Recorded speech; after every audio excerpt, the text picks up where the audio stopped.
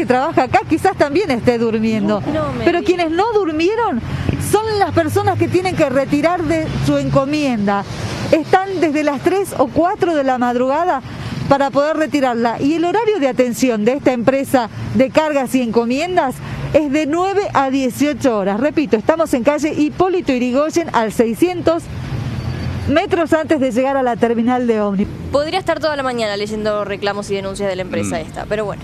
Eh, Ya llegará. Sí, sí, sí, Secretaría puedo hablar con toda la gente. No sé si está funcionando Defensa del Consumidor, justo. Había un mensaje. ¿Cómo no va a estar funcionando defensa del consumidor? Bueno, yo le leo el mensaje de la gente.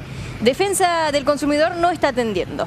Es lo que dice uno de los mensajes. No, me estás tomando el pelo. No, no. ¿Cómo lo voy a mentir? La Te estás gente no está aprovechando de mi no. edad. Ja- No. Jamás. Ahí está el mensaje, mire. Defensa del consumidor no está atendiendo, además nos sigue escribiendo, eh, seguramente para contarnos alguna situación en particular, pero es lo que dice la gente que por ahí trató de comunicarse y no hubo respuesta, lamentablemente. A ver, son las ocho y media de la mañana. Es una repartición pública. Eh, yo le pido a la producción, y disculpen que tienen muchísimo trabajo nuestra producción, ¿podemos llamar a la Secretaría de Defensa del Consumidor del Gobierno de la provincia de Salta?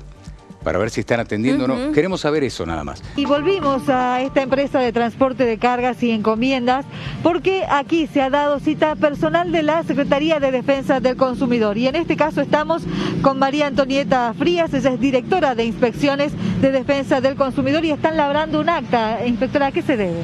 Sí, así es. Eh, bueno, vinimos a constatar el tiempo de espera.